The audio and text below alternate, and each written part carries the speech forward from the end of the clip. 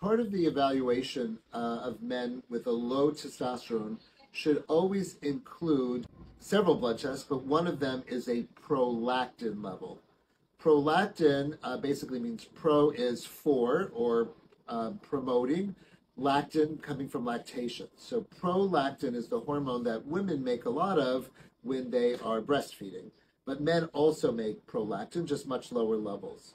Uh, your pituitary gland, which is a small pea-sized uh, gland in your brain, um, is what makes prolactin. And if you get a benign, meaning not malignant, tumor, a prolactinoma that makes a lot of prolactin, that can have effects on you.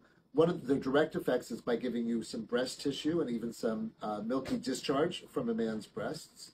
Uh, but the other thing that it can do is decrease dramatically the production of testosterone. So sometimes men come in with a very low testosterone. We always check their prolactins, and sometimes we find a very elevated prolactin. Then we do an MRI of the brain and find the adenoma. Now, fortunately, they're almost always benign and they're actually medically treated. So when you treat a pituitary adenoma medically, um, you will see that the prolactin levels go down and the testosterone levels come up, and the men feel better for both of those reasons.